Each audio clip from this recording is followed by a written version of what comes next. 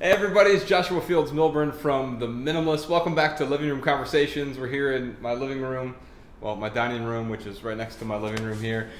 And we have a question today from Happy Flowers. Actually, um, yesterday's video was about why doesn't minimalism have a lot of color? Why is it all black and white and has no personality or style?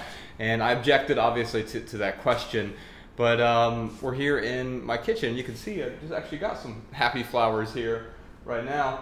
Um, and there's these specks of color that really stand out when we have these these stark backgrounds. In fact, the, the bookshelf that's over here in, in the living room, um, the, the sort of colors that, that are involved with that really stand out because you have these, these stark backgrounds. So whenever you have a pop of color, it, it tends to come to the surface, even when you have flowers like this, that otherwise they might just go unnoticed, although you can smell them really well in, in house right now because I just got them uh, last night.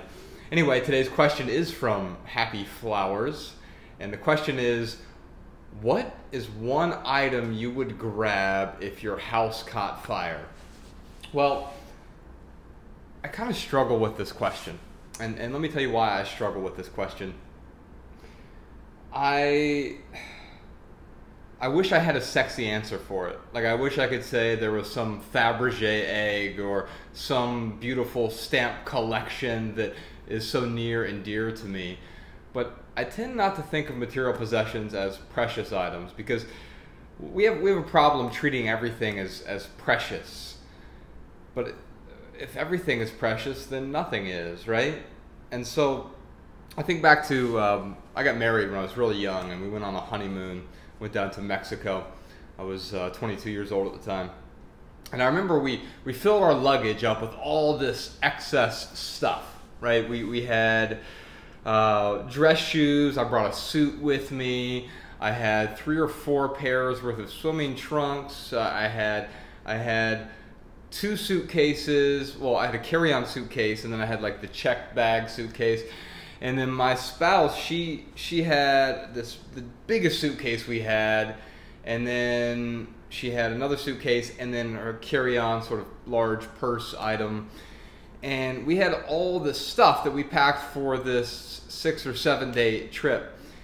And the thing about having the, the large suitcase is we feel compelled to fill it up. Oh, I can fit one more pair of shoes in there. I'll put this in there. Oh, I'll bring this just in case, just in case this, and just in case that. And we feel compelled to pack all the stuff. But when we got to the airport uh, down in Cincinnati, which the Cincinnati airport is actually in Kentucky, um, we were trying to weigh all of our, our, our, things so we can get it checked, and we were over the limit. The limit was 50 pounds at the time, and I remember my, my, my wife, she her, her suitcase was was 70 pounds, and then we weighed mine, and we realized mine was 40 pounds, so I had at least 10 pounds worth of, of room, so I could move some of her accoutrements into my bag because they were too precious to leave at home and of course, I had way too much stuff in there as well. I had, uh, who needs 40 pounds in one bag? And I had my other bag was probably another 40 pounds. So I had 80 pounds worth of stuff. She had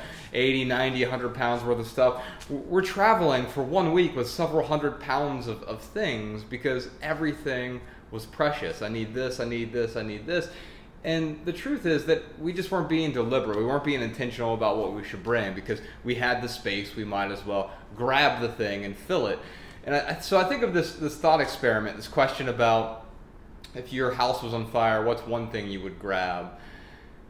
Probably nothing. I mean, as long as my family is safe, which those aren't things obviously, but as long as the people I care about are safe, then I'd be fine. Everything else is usually on my person, whether it's my phone so I can make the emergency phone call and tell the, the police and the fire department, oh my God, my house is on fire, or it's my wallet, it's, that's on my person, or my chapstick, that's wildly important to me because I get some chapped lips, especially in the summer. Uh, you can see I've got a bit of a sunburn right now, and that adds to the, the chapped lipness. And um, everything else is everything else is replaceable. I mean, it'd be a huge inconvenience. There are things that I would miss not having around, but those are all replaceable things, right? So, what's the one thing I would grab in a fire? Nothing. All right, y'all. If you have any more questions for these living room conversations, you can leave them below in the comments. Also, if you like these answers, you can subscribe to the YouTube channel.